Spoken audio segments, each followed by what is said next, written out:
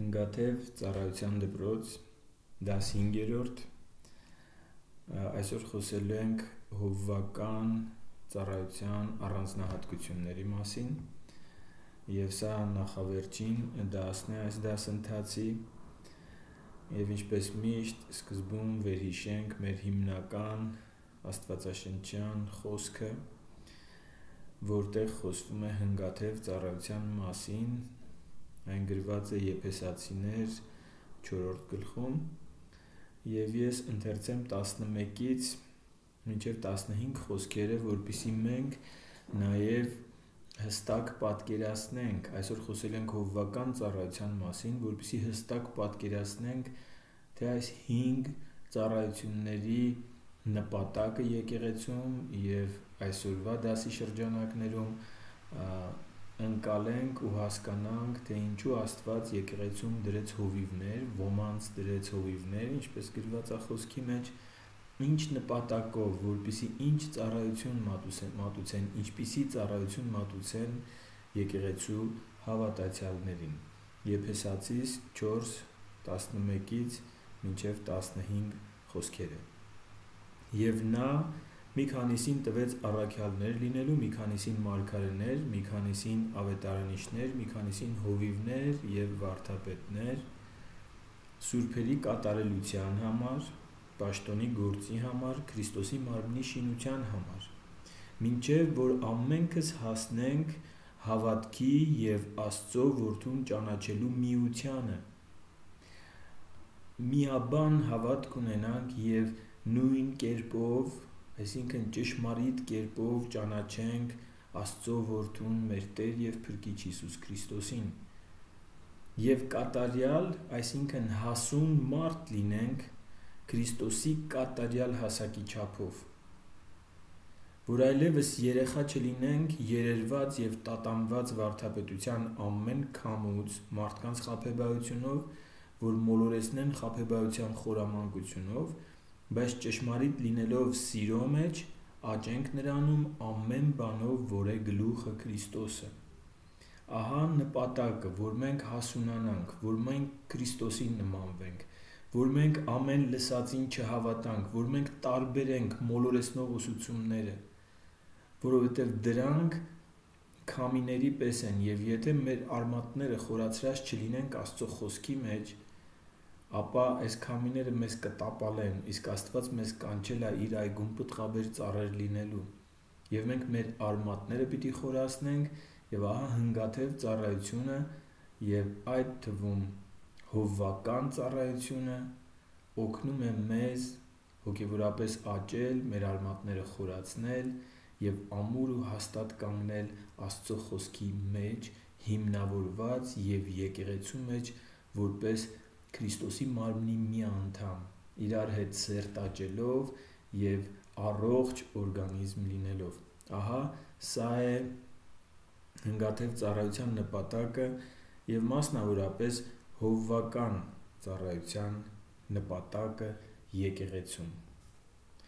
Ինչու հովիվ։ Մեզ համար հովիվ բառը դարձել է հավատացյալների համար դարձել է շատ սովորական մի բառ, որ չգիտեմ, երեխաները լսում են դա եկեղեցում փոքր տարիքից մեծերի համար սովորական, հավատացյալների համար սովորական բառը դա, բայց պիտի հասկանանք, որ այն ժամանակներում, երբ որ եկեղեցում դրվեց հովվական ծառայություն, այս բառը յուրահատուկ իմաստ ուներ։ Աստված իր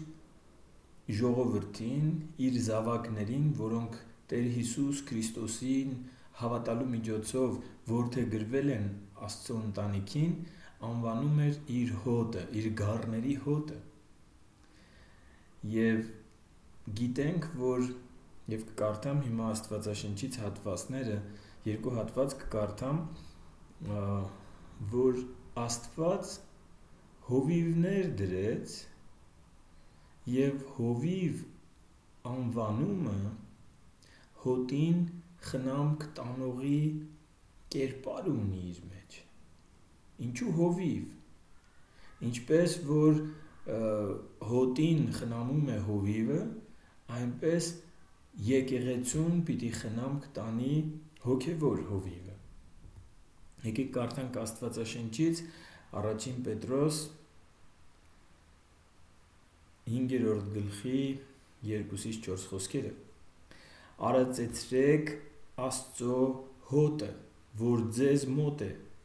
վերակացու լինելով ոչ թե ստիպված, այլ հոժար կամքով, ոչ թե պիղծ շահասիրությունով, այլ հոժարությունով, ոչ թե ինչպես վիճակների վրա տիրապետելով, այլ հոտին օրինակներ լինելով։ Եվ երբ որ հովվապետը կերևա, փառքի անթառամ պսակը կընդունեք։ Եթե դուք այսպես վարվեք Աստծո հոտի հետ, ինչպես Եվ այստեղ տեսնում ենք առաջին պարտականությունը հովվի հովվի առաջին պարտականությունը հոտը արածեցնելն է հոտին ճիշտ սնունդ ապահովելը բայց դա պիտի արվի ոչ թե շահասիրությունից որովհետև հովության մեջ փառք կա որովհետև հովիվը իշխանություն ունի եկեղեցու հավատացյալների վրա եւ Աստծուց դրված իշխանություն ասա, բայց ամեն իշխանություն իր մեջ փառք է պարունակում եւ եթե չլինի խոնարհություն, եթե չլինի Տեր Հիսուս Քրիստոսի ասած ծառա լինելու առաջնորդությունը, որ ասում էր ձեր միջի մեծը նա է որ ծառա է ձեր բոլորին, ապա այդ փառքը արփեցնում է ինքը թմրանյութի ազդեցություն ունի եւ արփեցնում է հովվին եւ հովիվը սկսում է հովվել արդեն իր փառքի համար, իր շահի համար։ Եվ Պետրոս Արաքյալը զգուշացնում է հովիվներին, որ սա չանեն պիղծ շահասիրությունով, այլ հոժարակամ։ Եվ ցանկացած հովիվ պիտի հիշի, որ ինքը չի հոտի տերը, կա հովվապետ, որը հետագայում գնահատական է տալու հովվի կատարած ծառայությանը, հովվի կատարած գործին։ Ահա թե ինչու եկեղեցու առաջնորդը, ծառա առաջնորդը կոչվում է հովիվ։ Եկեք եւս մեկ հատված կարդանք Աստվածաշնչից Գործ կառակելոց 20-րդ գլխի 28-րդ խոսքը կարդամ մինչև 31-ը։ Զգույշ եղեք ինքներդ ձեզ համար եւ ամբողջ հոտի, որի վրա Սուրբ Հոգին ձեզ վերակացուներ դրեց, որ արածեցնեք Աստծո եկեղեցին, որ իր արյունով ստացավ։ Եվ այստեղ զգուշացում է հովիվներին, բայց կրկին խոսքը այսպես փոխաբերական իմաստով հոտ եւ արածեցնել իմաստներն ունի զգույշ եղեք սա ձեր հոտը չի սա տիրոջ արյունով գնված եկեղեցին է որի վրա Սուրբ Հոգին ձեզ դրեց վերակացուներ որ արածեցնեք Աստծո եկեղեցին զգույշ եղեք Տեսեք շարունակությունը ինչի ասում զգույշ եղեք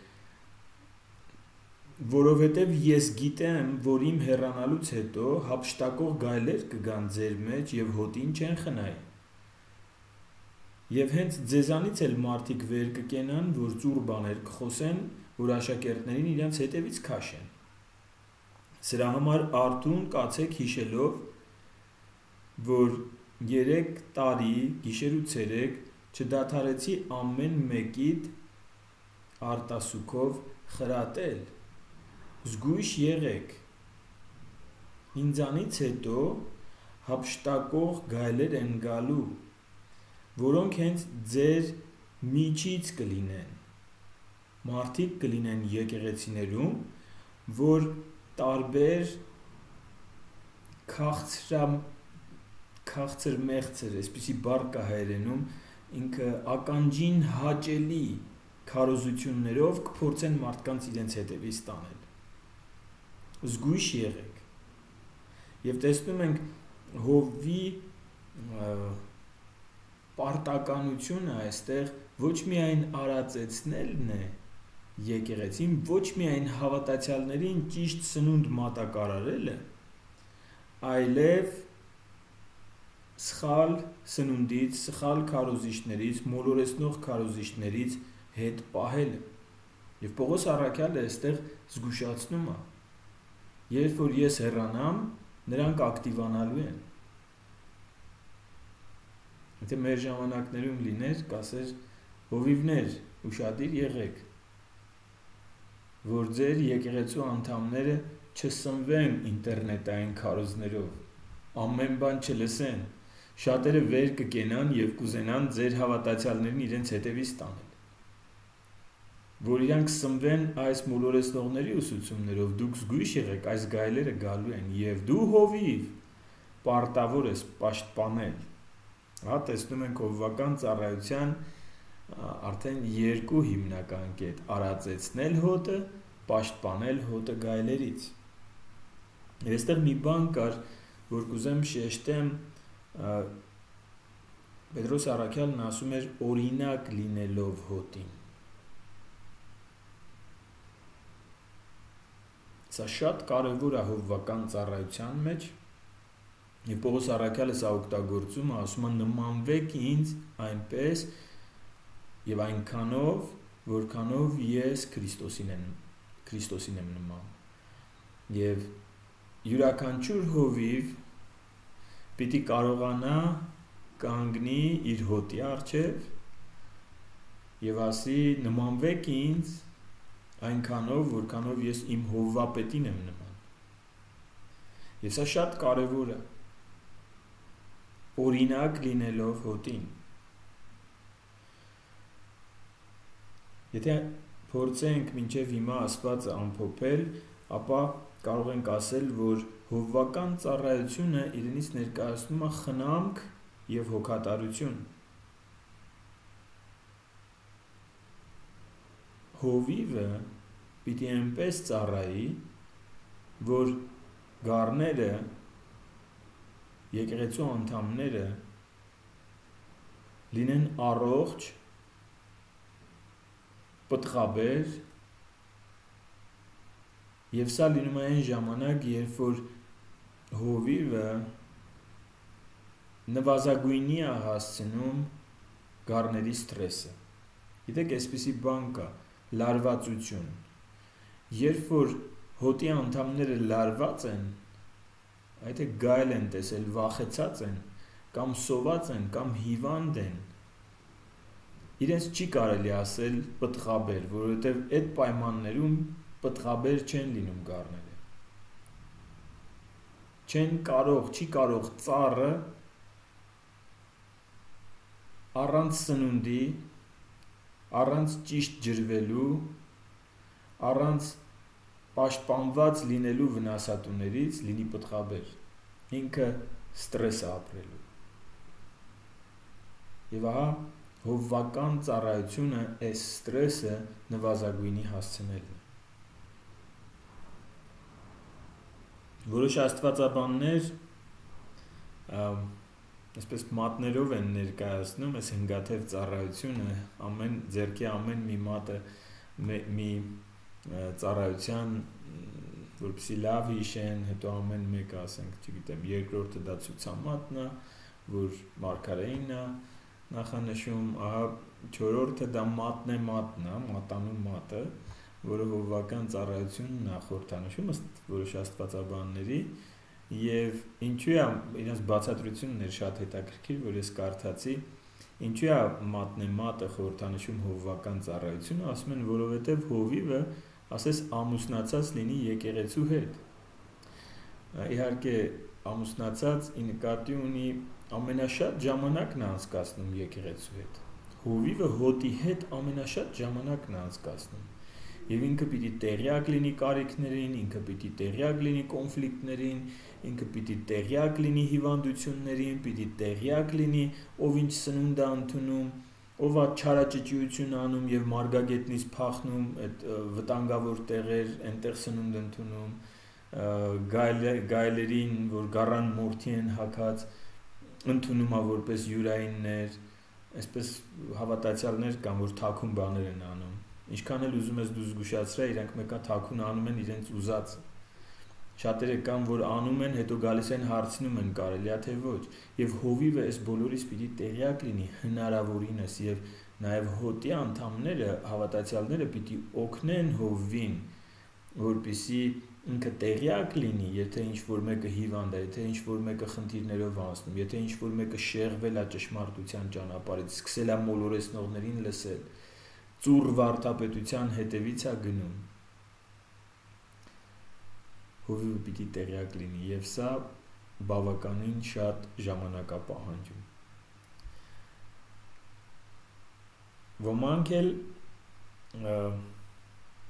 իհարկե ժամանակի եւ զբաղվածության առումով էր ասում այդ մատնեմատի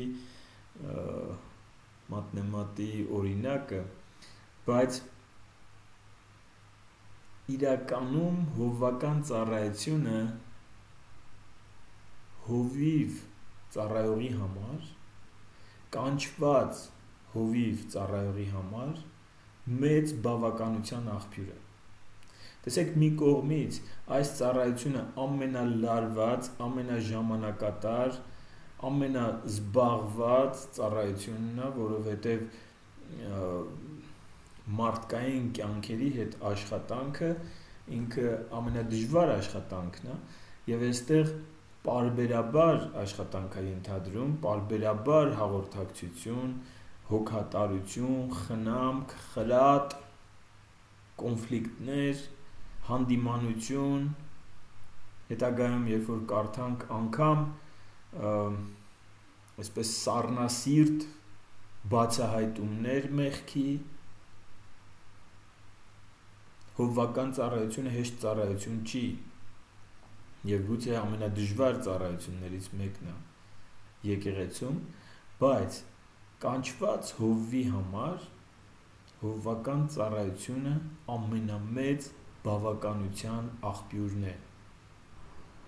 որովհետև իրական հովիվը երբ որ տեսնում է իր աշխատանքի պտուղը արդեն այն ինչպես Պողոս Առաքյալն էր ասում, ասում էր երկունքի ցավով կրկին ծնում եմ ձեզ Բայց երբ որ այդ ցավերից հետո կնոջը տալիս են իր նորածնին, ինքը բոլոր ցավերը մոռանում է եւ հովվական ծառայությունը նման է եւ Պողոս Առաքյալը նմանեցնում է այս կնոջ ցավերին եւ ծննդաբերության ուրախությանը եւ ամեն մի հոգին, ով աշխարից գալիս է սատանայից կեղեքված, ջախջախված, փշրված, վախերով, վերքերով, մանկությունից եկած հոգեբանական տրավմաներով եւ տարբեր տարբեր խնդիրներով, երբ որ գալիս է եւ հովիվը վերցնում է այս գայլերից կիսահոշոտված գառնուկին եւ դարձնում է պտղաբեր մայր իր հոտի մեջ եւ հետո նայում է ու հիշում է ինչպիսին էր եկեղեցի գալուց առաջ եւ ինչպիսին է հիմա սրանից մեծ բավականություն չկա թեև դժվար է այդ ընթացքը թեև համբերություն է պահանջում խնամք խրատ սառնասրտություն իմաստություն տիրոջ առաջնորդությունը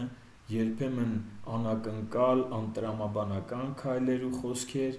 բայց այս ամենը Աստծո առաջնորդությամբ բերում է մի իրավիճակի, երբ որ հովիվը նայում է իր աշխատանքի պտղին եւ իր սիրտը լցվում է գոհությունով Աստծո հանդեպ, որովհետեւ առանց Աստծո հետ համագործակցության անհնարին էր հասնել նման արդյունքի։ Մենք ջրողն ենք, աճեցնողն Աստվածը։ Բայց երբ որ տեսնում ենք աշխատանքի պտուղը, ես այսպես եմ խոսում, որովհետև ինքս հովիվ եմ, դրանից մեծ բավականություն մարդը այս երկրի վրա չի կարող ունենալ։ Երբ որ տեսնում ես ու հասկանում, որ քո հովվապետը ուրախ է երկնքում այս փոխված կյանքի համար։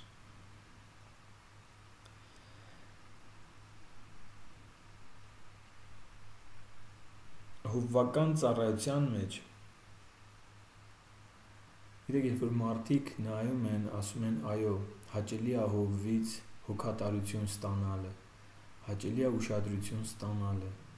հաճելի է երբ ինքը մեզ առաջնորդում է կանաչ մարգագետիններ, հաճելի է երբ որ ինքը մեզ պաշտպանում է գայլերի հարձակումներից, բայց հովվական ծառայությունը միայն սա չի։ Հովվական ծառայության մեջ կան բաներ, որ գառներին հեչ հաճելի չեն։ Ասենք խուզելը, ասենք լողացնելը կամ դժվար ճանապարհներով նոր մարգագետիններ առաջնորդելը Եվ միշտ չի հովիվը այնպիսի մարդ չպիտի լինի, որ հաճեցնի իր հոտին միշտ։ Անի այն ինչ որ հոտը ուզում է եւ հոտը սիրի հովին, որովհետեւ ինքը անում է այն ինչ որ իրանք են ուզում։ Խոսում է այն ինչ որ իրանք են ուզում։ Հաճելի է հովվական ծառայություն ընդունելը, երբ որ այսպես է բայց դա աստվածաշնչյան հովվությունը չի հովիվը երբեմն պիտի բռնի գառներին ու շպրտի ջրի մեջ որ նրանք մաքրվեն երբեմն պիտի ոտքու ձեռքը կապի եւ խուզի որովհետեւ բուր թե չափից դուրս շատ է արդեն հպարտությունը դուրս է եկել ու իրան արդեն խանգարում է քայլել եւ այսպիսի նուրբ պահեր կա հովվական ծառայության մեջ որ հովիվները չպիտի ձգտեն հաճեցնել եկեղեցու անդամներին, հովիվները պիտի ձգտեն հաճեցնեն եկեղեցու տիրոջը եւ հասկանան ինչպիսի հովվություն է տվյալ պահին Տերը պահանջում իրենցից։ Եվ ոչ թե պիտի հովիվը քարոզի հոտին, այլ պիտի ծառայի հոտին։ Այո, քարոզը ոմանք ասում են, որ ոչ թե հնգաթև ծառայությունը իրականում Եփեսացիս 4:11 ասում են քարաթև ծառայությունը, որովհետև վերջին երկուսը նույն պարգևն է եւ ասում են, որ հովիվ եւ ուսուցիչը դա մեկ պարգև է։ Իրականում հովիվը իր մեջ պիտի պարունակի ուսուցչությունը, բայց ես համաձայն չեմ այս քարաթև ծառայության գաղափարի հետ, քանի որ Աստվածաշնչում տեսնում եմ, որ կար ուսուցիչ, օրինակ Ապողոսը, որը հայտնի ուսուցիչ էր եկեղեցիներում եւ տարբեր եկեղեցիներում պատտվում ու քարոզում էր, ուսուցանում էր, բայց ինքը հովիվ չէր, ինքը ուսուցիչ էր։ Եվ հաջորդ եւ վերջին դաս այս հնգատև ծառայության դպրոցի մենք կնվիրենք հենց վարդապետ վարդապետներին, այսինքն ուսուցիչներին։ Ուրեմն թեև հովիվը պիտի լինի նաև ուսուցիչ, Բայց սա չի նշանակում, որ ամեն ուսուցիչ հովիվ է։ Մարդը կարող է լինել ուսուցիչ եւ չլինել հովիվ։ Ինչ է հովվական ծառայությունը։ Հովիվը թշնամուն դիմավորողն է։ Հովիվը պիտի պաշտպանի իր հոտը։ Այստեղ համագործակցություն է պետք։ Երբ որ գառները տեսնում են գայլին, պիտի ձայն հանեն իրականում իմ հովվական ծառայությունից ասեմ, որ որոշ գայլ, որոշ գառներ գայլերի հետ մտնում են երկխոսության մեջ եւ տեղյակ չեն պահում իրենց հովին։ Եթե դու չես աղաղակում, երբ որ գայլ ես տեսնում, իսկ գայլը դա կարա լինի մոլորեսնով ուսուցիչը, կարա լինի դիվային ներգործություն, ցանկացած բան, որ եկել է քո կյանք քեզ վնասելու համար։ Եթե դու չես աղաղակում, հովիվը ինչպես վազի քեզ մոտ ու քեզ պաշտպանի։ Ուրեմն պիտի ինչ որ կերպ սпасես, որ նկատի, բայց քանի որ հովիվը շատ գառներ պիտի խնամի, գուցե քեզ չնկատի, այնպես որ այստեղ համագործակցությունն է պետք եւ գառները նույնպես պիտի աղաղակեն եւ այդպիսի մի օրինակ կային փորձառությունից, որ մի քույր այդպես մտքեր էր ստանում եւ ես իմ մեջ համոզված էի, որ դա դիվային մտքեր է եւ դիվային ներգործություն եւ ձայներ էր լսում եւ այդ ձայները իրան ասում էին սա արա, սա մի արա եւ գիտեք հենց այստեղ այդ հովվական գավազանը եկավ եւ ես ասեցի Աստվածաշունչը քեզ պատվեր է տալիս հնազանդվելու քո հովին եւ ասացի, որ ամեն անգամ, երբ որ այդ ձայնը քեզ կուղորթի ինչ որ բան անելու կամ չանելու, ասա թող ինձ հետ խոսա այդ ձայնը եւ իմ միջոցով, որտեվ իրան խափում էր, ասում էր, որ Աստված է, ասացի, եթե Աստված է խոսում, թող իմ միջոցով խոսի եւ գիտեք ինչ եղավ այդ ձայները դադարեցին այդպես գրածը հակառակվեք սատանային եւ նա կփախչի ձեզանից հնազանդվեք Աստծուն ահա հովվական գավազանը եկավ եւ հովիվը կանգնեց այս գայլի ու գառան մեջտեղում եւ այո հովիվը պիտի լինի նա ով դիմավորում է թշնամուն բայց գառը հոտի անդամը պիտի տեղեկացնի իր խնդրի մասին Շատերը նեղված նստած սպասում են, երբ պիտի հովիվը ուշադրություն դարձնի իրենց։ Աղաղակիր։ Հովիվը ուշադրություն է դարձնում նրանց, ովքեր աղաղակում են։ Մի նեղացեք հովիվներից, երբ որ իրենք երկար ժամանակ ձեզ չեն հիշում, որովհետև իրենք իրականում Աստվածաշնչյան հովիվը պիտի խնամք տանի եւ հոգատար լինի բայց երբեմն այս հոգատարությունը այնքան շատ մարդկանց հանդեպ է լինում, որ դու վազում ես այնտեղ, որտեղից աղաղակում են։ Իսկ նեղացածները այդպես էլ մնում են առանց խնամքի կամ ուշ ուշացած երբեմն խնամքի խնամք են ընդունում։ Հովվի նաև ծառայության առանձնահատկություններից է, այո, ասեցի, առաջինը պիտի թշնամուն դիմավորի, հավատացյալի կյանքում, բայց նաև հովիվը պիտի բարձրացնի ծառայողներ բարձրացնի եւ ուղղորդի համապատասխան ծառայությունների մեջ հովիվը պիտի օգնի բացահայտել քո տաղանդները, քո կոչումը, քո կանչվածությունը եւ դա կարող է անել ուսուցումների միջոցով, կարող է անել անձնական զրույցի միջոցով, կարող է խորհրդատվության միջոցով անել։ Այո, հովիվը նաև ճիշտ ծնունդ մատակարարողն է կամ որոշողը, թե ում լսես։ Ասեցի, որ կա նաև վարդապետի ծառայությունը եւ հովիվը կարող է վարդապետների տեղ տալ եկեղեցում եւ ոմանց տեղ չտալ։ Եվ սա պիտի անի ոչ թե թե ում հետ ամտերիմ, այլ պիտի անի թե ում խոսքն է շինություն բերում եկեղեցուն։ Եվ ահա անաչառության մասին քիչ հետո կխոսենք։ Խոսեցի խուզելու մասին, խոսեցի լողացնելու մասին, հա, եթե ասենք խուզելը դեպի խոնարհություն առաջնորդելը հավատացյալին լողացնելը դա կարելի է համեմատել մեղքի խոստովանություն ընդունելու հետ, հոգևոր հիվանդություններից ազատվելու հետ, ապա կա նաև հովի եւ հոտի եւս մեկ կարևոր փոխհարաբերություն, որը օծելն է։ Բժշկվելու համար օծելը։ Եվ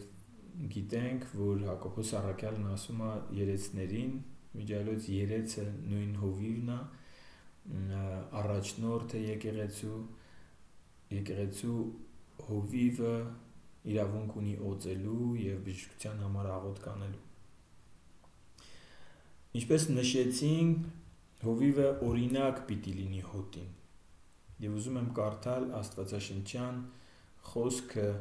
առաջին Տիմոթեոս 4:16-ից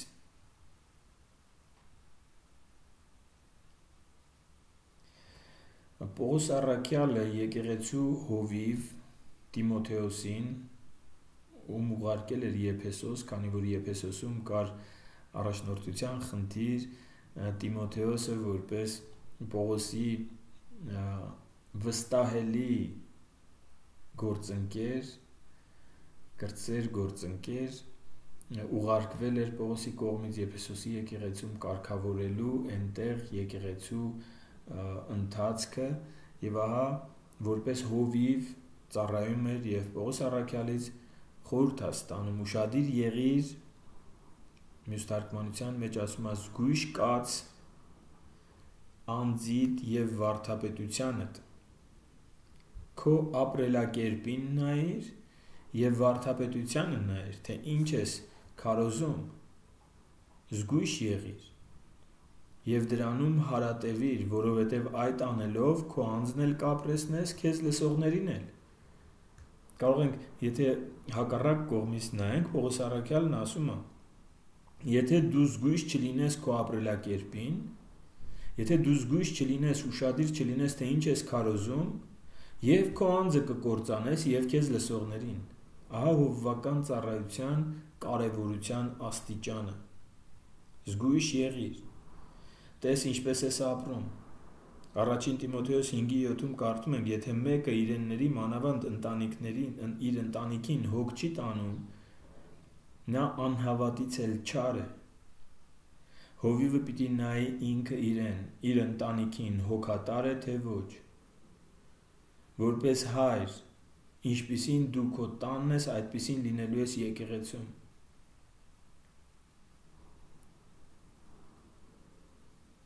Զգույշ եղիր քո անձին։ Զգույշ եղիր։ Ահա, քանի որ հովվական ծառայությունը առաջնորդական ծառայություն է եւ շատ կարեւոր ծառայություն եւ զգուշացումը հովիվներին բազմաթիվ տեղերում կարող եք կարդալ Աստվածաշնչում, ապա կարող ենք ասել, որ ամեն մարդ չէր կարող հովվական ծառայության անցնել։ Եվ սա հատուկ պարգև եւ հատուկ կանչվածություն է Աստծուց։ Պիտի մարդը նայի իր կյանքին։ Առաջին հերթին վարդապետությանը ինչ եմ սովորեցնում։ Ինչպիսի սնունդ եմ մատակարարում։ Արդյոք այն ինչ խոսում եմ հիմնավորված է Աստվածաշնչով, թե ինչ որ միտեղ կարդացել եմ, լսել եմ, ինձ սովորեցրել են ու ես էլ սովորեցնում եմ։ Ինչ որ ասում եմ, Աստծո խոսքի հիմքի վրա եմ ասում, թե իմ երազների, տեսիլքների, մարգարեությունների, իմ պատկերացումների ես ինչ որ քարոզում եմ այն սնունդը որ մատակարարում եմ որ Աստծո հոտը արածեցնում եմ իրանց պահանջածնա թե Աստծո տվածը որովհետև մարդիկ հաճախ ասում են մենք այսպիսի խոսք ենք ուզում լսել քեզանից ինձ էլ են ասում ասում են արմեն եղբայր ուզում ենք քաղցր քարոզներ անես։ Ես գնում եմ Տիրոջը հարցնում եմ Տեր, հիմա ինչ ես ուզում որ ասեմ։ Եվ երբեմն խիստ աստացվում այդ քարոզը։ Եվ ես չեմ անհանգստանում, որ մարդկանց ակնկալիքը չեմ բավարարում։ Դա նույնն է, թե տան մայրիկը Իհարկե հարցնում է ինչպեսի ճաշ եք ուզում, բայց եթե բոլոր երեխաների կմահաճույքով ճաշ եփի, այդ երեխաները կմեծանան հիվանդ։ Որտեւ իրանք սիրում են քաղցր բաներ, իրանք սիրում են թեթև բաներ, իրանք օգտակարը հաճախ այնքան համով չի, ինչքան վնասակարը։ Եվ նույն սնունդի հետ համեմատած կարելի ենք նաև հոգևոր սնունդ ասել, երբեմն օգտակար քարոզները այնքան էլ քաղցր չեն։ Եվ հակառակը, երբեմն ճապից դուրս քաղցրը շատ վնասակար է։ Եվ հովիվը պարտավոր է ուրشادիր լինել իր վարդապետությանը, ուրشادիր եղիր, սա անելով, սրա մեջ հարատևելով քո անձնել կապրեսնես քեզ լսողներին էլ։ Ժուշկալությունը, հովի ժուշկալությունը։ Եթե հովիվը սիրում է հարստություն, ճոխապրել, այսպես ինքը օրինակ է ծառայում դրան։ Աշխարհն է սիրում եւ դրանով օրինակ է ծառայում։ Վայելում է աշխարհը։ Խոսելակերպը հակնվածք մարդ որակը, մարդ տեսակը սրանք բաներ են, որ յուրաքանչյուր հովիվ պիտի ինքը իրեն քննել կարողանա։ Իսկ ինչպիսին եմ ես։ Արդյոք սա որ անում եմ, որ մեղք չի, հաստատ մեղք չի, բայց կարող է գայթակղություն լինել ինչ որ մեկի համար։ Եթե այս սկզբունքը բոլոր հավատացյալներին է վերաբերվում, ապա հովիվներին սա վերաբերվում է քառակի, տասնակի անգամ ավելի խիստ։ Առաջին Տիմոթեոս 3:7-ում կարդում ենք. որ եկեղեցու առաջնորդը կամ առաջնորդները պետք է դրսիններից բարի վկայություն ունենան սա շատ կարևոր է ինչպիսի ինչպես են քո մասին խոսում քո աշխատավայրում ինչպես են քո մասին խոսում քո հարևանության մեջ այնտեղ որտեղ որ դու ինչ որ համագործակցություն ունես շփում ունես գործեր ունես եկեղեցուց դուրս ինչպիսի համբավ ունես, ինչպիսի մարդու համբավ ունես, հպարտ, փառասեր, մեծամիտ, թե խոնար, շփվող ընկերասեր, հասարակ, པարզ, օգնող դրսիններից բարի վկայություն, դրսիններից բարի վկայություն ահա պահանջ Աստվածաշնչյան։ Իհարկե շատ են պահանջներ, եթե կարդաք Տիմոթեոսին եւ Տիտոսին ուղված թղթերը, այնտեղ շատ են։ Ես ուղակի ծաղկակաղ եմ արել, որովհետեւ այս կարճ ժամանակի մեջ ամբողջ հովվական ծառայությունը ներկայացնել դժվար է, բայց կուզեմ, որ ընդհանուր ընդհանուր կետերով գոնե պատկերացնենք այս ծառայության էությունը։ Հովիվը պիտի եկեղեցուն ուղղորդի, որպեսի եկեղեցին ծառայի համայնքին, եկեղեցուց դուրս եղող մարդկանց։ Հովիվը պիտի եկեղեցու համար ապահովի հստակ առաջնորդություն, ուր են գնում, որն է մեր անելիքը, ինչպիսի քայլեր պիտի անենք, որպեսի հասնենք նպատակին։ Հովիվը պիտի վստահություն ներշնչի ճգնաժամերի ժամանակ դժվար ժամանակներում երկրի համար, եկեղեցու համար, որոշակի ընտանիքների համար, ճգնաժամերի ժամանակ հովիվը պիտի լինի այն կամուրջը, որի միջոցով Աստծո հանդեպ վստահությունը հոսում այս մարդկանց կյանք։ Պիտի հովիվը կարևորի իր քահանայական դիրքը, ժողովրդի հավատացյալների քահանայական ծառայությունը եւ երկնքի հերանեկարից Աստծո արքայության հերանեկարից նայի երկրի վրա կատարվող իրադարձություններին հովը պիտի լինի խորհրդատու հովը պիտի կառավարի եկեղեցին ամենակարևոր կետերից մեկը պիտի ունենա ֆինանսական ազնվություն մարդիկ զգում են հատկապես փողի հանդեպ սերը ինքը հոգևոր հոտ ունի դու չգիտես ինչա ինչա կատարվում բայց դու զգում ես մաքուր հոտ է գալիս այդ մարդու վրից թե թե ֆինանսական փող, փողասիրության հոտ է գալիս թե խարտախության հոտ է գալիս դա մի հոգևոր բան է որ ես հիմա չեմ կարա փոխանցեմ բայց դա զգացվում է մարդը արծաթասեր է փողասեր է թե մարդը ֆինանսապես ֆինանսական առումով ազնիվ Աստծո առաջ եւ մարդկանց առաջ։ Հովիվը պիտի լինի վստահելի եւ հատկապես ֆինանսների առումով։ Եվ պիտի առաջնորդություն ապահովի եկեղեցուն։ Գիտեք, երկու բան կա՝ հով, հովվական խնամք, երբ որ և, հովիվը աշխատում է անհատների հետ եւ հովվական ծառայություն, սրանք տարբեր բաներ են, բայց նույն մարդն է սա անում։ Եվ պարտադիր չի մեկ հոգի լինի հովիվ եկեղեցում, եւ շատ լավ կլինի, որ եկեղեցում այս ծանր պարտականությունները բաշխված լինեն տարբեր հովիվների միջև։ Հովվական խնամք, աշխատանք անհատների հետ այդ կոտրված, փշրված, գուցե սատանայից կեղեքված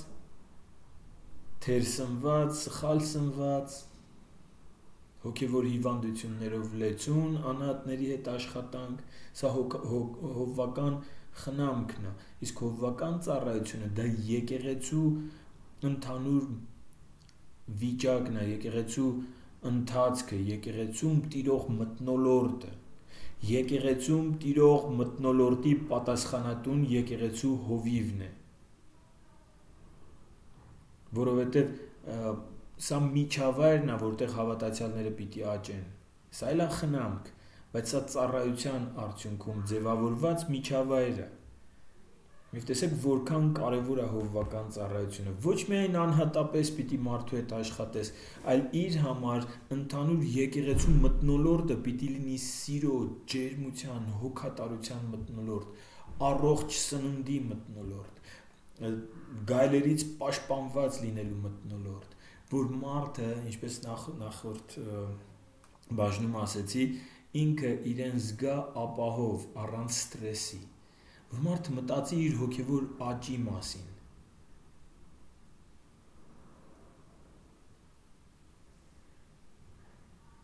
Եվ իմ խոստացված հատվածը ասեմ նաև պիտի անաչառության անաչառությունը հովվական ծառայության ամենակարևոր բաղադրիչներից մեկն է եւ ուզում եմ կարդամ առաջին Տիմոթեոս 5-րդ գլխի 17-ից 21 խոսքերը եւ տեսեք ոչ միայն անաչառություն, այլ գուցե վիրաբուժական սառնասրտություն ա պետք 17-ից 21 առաջին Տիմոթեոս 5-րդ գլուխ այն երեցները ովքեր լավ վերակացու են թող կրկնապատիկ կրկնակի պատվի արժանան մանավանդ նրանք, որ խոսքով եւ վարդապետությունով են աշխատում։ Ուրեմն այն երեցները, որոնք որոնք լավ են վերակացություն անում, իրանք պիտի տարբերվեն մյուսներից։ Իրենց պիտի կրկնակի պատվի արժանացնես։ Հովին ասա ուղված։ Մյուս հովիվների հանդեպ մանավանդ խոսքի ու վարդապետության մեջ ծառայողները որովհետև գիրքն ասում է թե կալի մեջ եզանդունչը կալի մեջ աշխատող եզանդունչը չկապես եւ որ մշակը արժանի է իր վարձքին ահա տեսնում ենք պիտի անաչառ լինի հովիվը լավ ծառայող հովիվներին պիտի կրկնակի պատվի արժանացնի անաչառ կերպով ոչ թե ըստ մտերմության ոչ թե ըստ իր հետ ունեցած հարաբերության, այլ ըստ իրենց թողած ազդեցության, հանուն արխայության թողած ազդեցության։ Եթե լավ են ծառայում, պիտի տարբերվեն, պիտի կրկնակի պատվի արժանացվի լավ ծառայողը։ Այսի անաչառության մի կողմն է։ Հիմա մյուս կողմը։ Երեցի վրա գանգատ մի ընդունիր բայց միայն երկու կամ երեք վկաներով մեղանչողներին բոլորի առաջ հանդիմանիր, որ ուրիշներն էլ վախենան։ Ահա մյուս կողմը անաչառության։ Եթե երեցը, եթե ծառայողը մեղք է գործում, դու Տիմոթեոս, հիշենք Պողոս Արաքյալն է խոսում Տիմոթեոսի հետ, դու մի նայի ով է ինքը։ Մի նայի ինչքան մտերիմ է իր հետ։ Դու պիտի բոլորի առաջ մեղ գործող ծառայողին խայտարակ անես, որpիսի մյուսների վրա վախ ընկնի, թե չէ սա շղթայական ռեակցիա է։ Այդ մեկն էլ կգնա այդ ուղությամբ, կասի իրան չարեցին, ինձ էլ չեն անի։ Եվ տեսեք 21-րդ խոսքն ասում է վկայություն եմ դնում Աստծո եւ Հիսուս Քրիստոսի եւ ընտրված հրեշտակների առաջին, որ այս բաները պահես առանց նախապաշարման ոչինչ չանելով աչառությամբ, ահա հովվական ծառայությունը։ Լավ ծառայողներին խրախուսիր առանց աչառության, վատ ծառայողներին հանդիմանիր առանց աչառության։ Եվ սա դժվար գործ է։ Եվ միայն սա կարող են անել այն մարդիկ, ովքեր կանչված են, ովքեր Տիրոջից ունեն համապատասխան պարգև,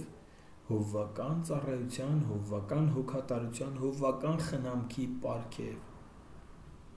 Գիտեք, հովվական ծառայությունը Տեր Հիսուսի սերն ու կարեկցանքը